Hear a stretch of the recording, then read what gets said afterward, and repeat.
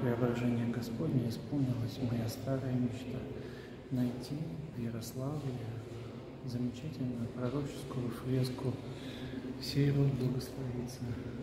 Это потрясающая древняя фреска, и обратите внимание, на ней действительно запечатлено пророчество. В левом нижнем углу есть надпись, и надпись гласит